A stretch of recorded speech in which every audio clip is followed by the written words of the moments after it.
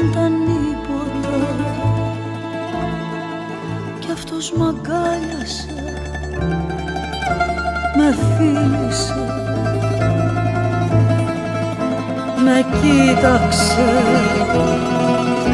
και μίλησε. Να με λες λοχαγό έρωτα Να στέκεσαι μπροστά μου προσοχή Να σκύβεις το κεφάλι Να υψώνεις την ψυχή.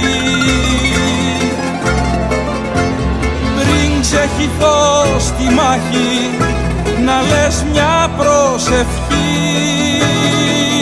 Να ορκίζεσαι στις μάνας την ευχή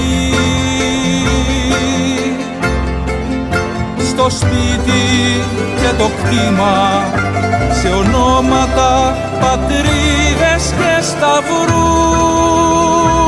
Και στους ωραίους λοχαγούς κυρίως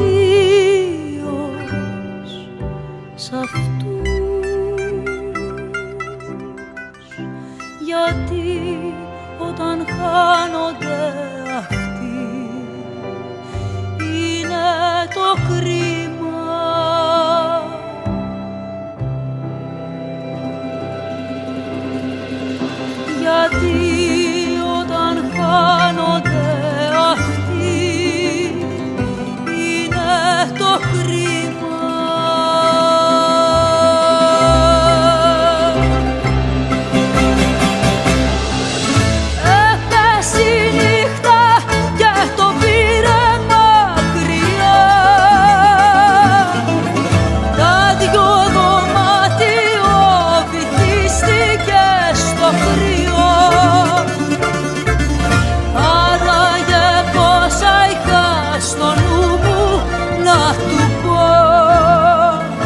είπα τίποτα.